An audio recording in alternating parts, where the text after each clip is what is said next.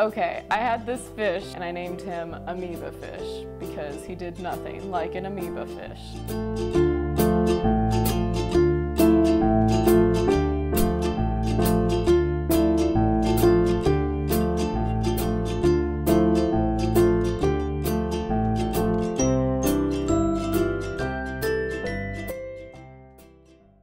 I mean, I don't think high school was like bad, but it was mostly like, see, I came from a really small Catholic school, so like I didn't really know how to make friends because I had been with like the same 12 people since I was seven. So like when I got to high school and I was thrown in with like all of these new people, I had no idea what to do.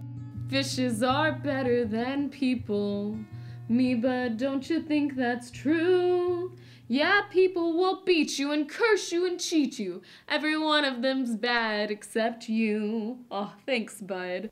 I started theater my sophomore year of high school, or it was actually like the, I guess it would have been the summer before my sophomore year of high school. So I was actually doing it for a little while before I had amoeba fish.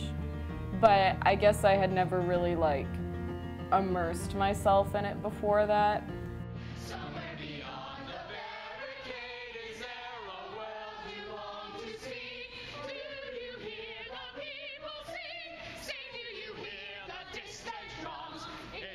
Future. What I started doing was I started like bringing icebreakers, I guess you would say, to rehearsal. I actually ended up bringing like giant bags of gummy worms to rehearsals. And what I did was I had like everybody I could get to sit in a circle and we'd pass around the gummy worms and we'd say our name and then something interesting about ourselves, like an AA meeting. I'm also a triplet, and this is my sister. We actually called it Actors Anonymous because we thought it was funny. Hi, my name's Gina, and I thought this was fucking anonymous.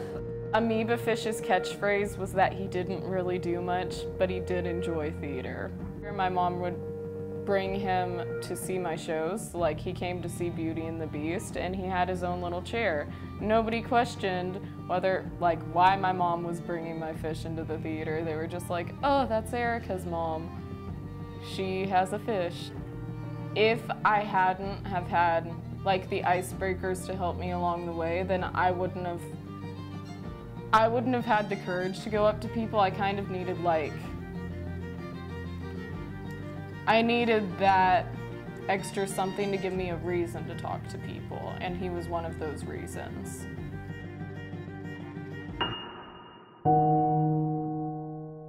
Uh, well, I kind of noticed he wasn't doing anything, but that wasn't anything like abnormal for him. He never did anything anyway. He was an amoeba fish. So he was just kind of floating around in his tank for a couple of days, and I was like, hmm, this doesn't quite seem right.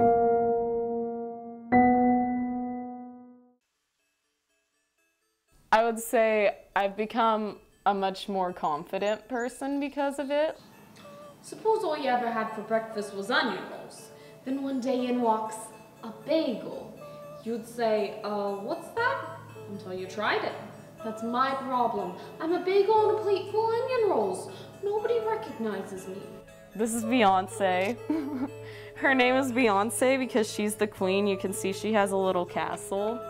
And she's been like eating a lot. Like she's she's kind of a fatty. Even if nobody here likes me, Beyonce will always like me because I feed her. So Beyonce's gotta love me. And I guess that's kind of like why amoeba fish helped me too. Like, people can hate on you, but fish are love, fish are life, they're friends. Um, Ha ha ha!